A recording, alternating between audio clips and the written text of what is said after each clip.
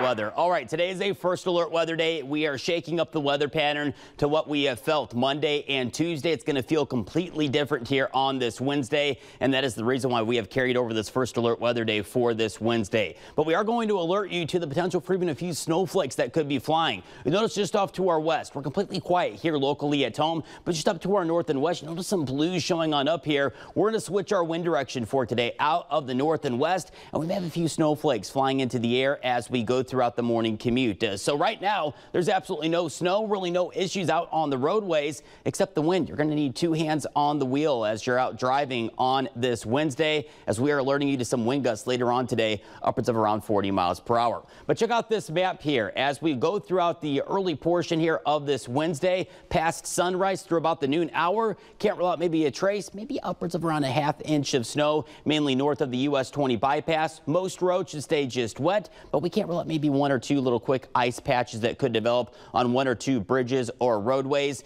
And that's all due to this temperature crash. You're going to notice this here in the future track. And this is what you need to pay attention to as we go throughout the morning hours here.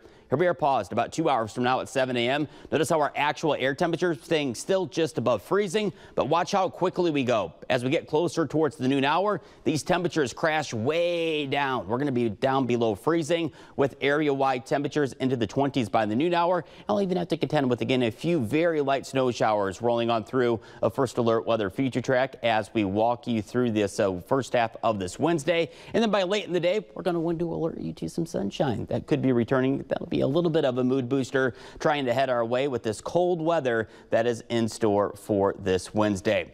Wind again is going to be an issue. Here's a look at our current wind gust right now, gusting 20 to 30 miles per hour. And later on today, this is what I want you to pay attention to in first alert weather. We're going to have the wind to contend with all day long. And by the lunchtime hour, wouldn't be surprised if we get some wind gusts that could be upwards of around 40 miles per hour. So again, it's going to be kind of that two hands on the wheel type of driving headed our way as we roll on into this Wednesday. First alert 10 day. If you don't like this brief return to winter, well, luckily again, I just use the word brief there.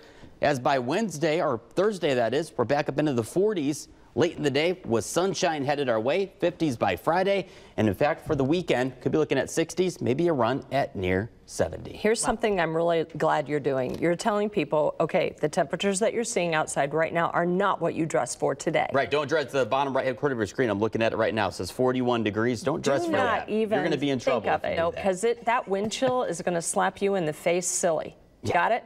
Yeah. yeah. Later today. Brain freeze today. Yep. Got it. That's good. All right. Thank you but point taken. All right, coming up this morning at 5:30, the Michigan primary results are in. Who came out on top?